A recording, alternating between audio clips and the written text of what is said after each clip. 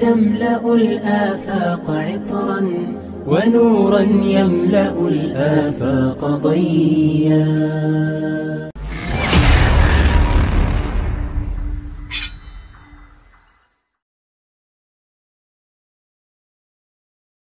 يقول النبي صلى الله عليه وسلم من اقتنى كلبا إلا كلب زرع أو ماشية نقص منه كل يوم قيراط. كل يوم.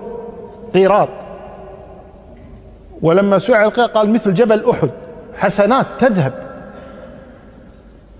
يذهبها الإنسان لأجل زرع آه، لأجل كلب يضعه في البيت. لا يجوز وضع الكلاب في البيوت لا تدخل الملائكة بيتا فيه كلب ولا صورة.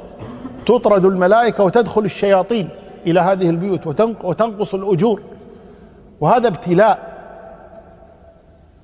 الناس يبتلون الآن بأن الكلاب جميلة وتطيع الكلام وتونس وتلعب في البيت وكذا. طيب والله يقول لك حرام. من تطيع؟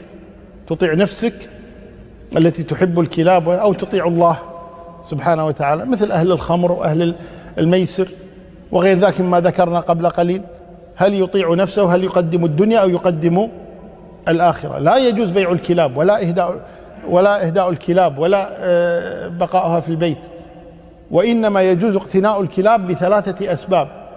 إما زرع لحماية الزرع وإما للماشية تحمي الماشية وإما للحراسة وإما للصيد. الحراسة قياس وإنما الذي ورد فيه الحديث عن النبي صلى الله عليه وسلم كلب إلا كلب صيد أو زرع أو, أو, أو ماشية. وفي رواية أو زرع.